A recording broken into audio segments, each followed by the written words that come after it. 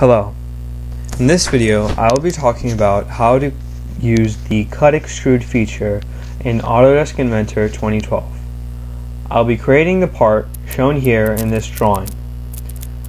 To start off, there are several different methods that you can use to create this part.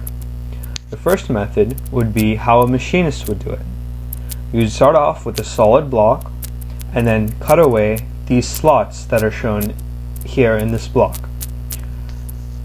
Another way to do this would be to start off with a pre-cut block or having a side cut off or one of the slots cut off beforehand.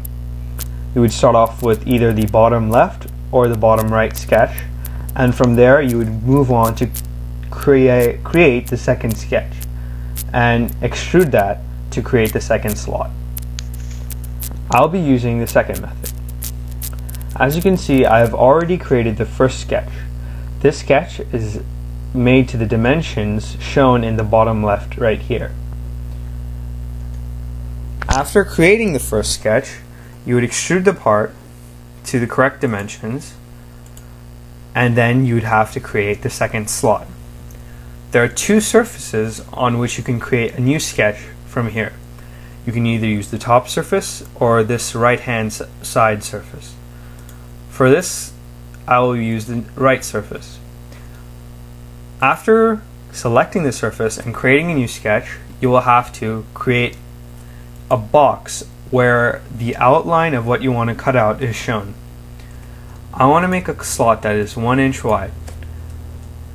After specifying that, you would also want to specify how far away it is from each of the edges.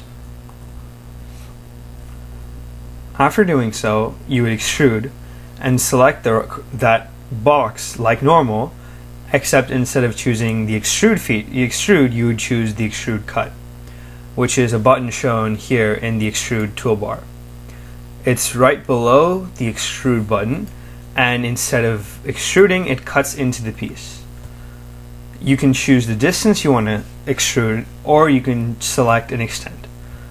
For this, I will choose all, what this means is no matter how the dimensions of the original block changes, this cut will always extend from this surface till the end of the piece.